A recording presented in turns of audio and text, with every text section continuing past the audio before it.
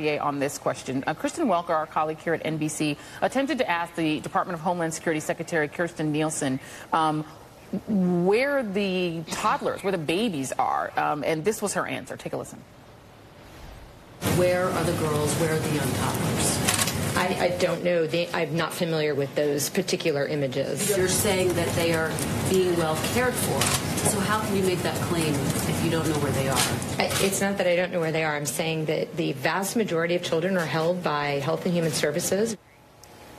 Marielena, how can these parents find their kids if the Secretary of Homeland Security doesn't even know where they are?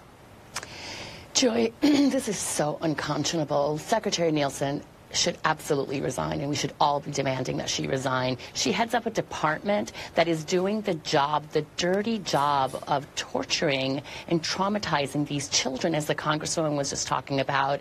Um, it is unacceptable that in the United States, um, a country that has long um, held up our legal system um, as a beacon and something that should be a model for the world, is now basically the system of law and disorder. It is is chaos created by this Trump administration where you don't have the secretary who doesn't know where these children are, where these girls are, where all of them are. There's no accountability. There's no sense of responsibility that what they are doing is unlawful, immoral and frankly just does not belong, um, any child does not belong um, in jail. And so, um, you know, what we're asking um, in this moment is that, you know, after this executive order that was frankly just a political and theatrical move to try to deflect um, the pressure that the American people who said, off limits. We cannot allow this to happen in this country. That executive order has actually created just more chaos. What we're seeing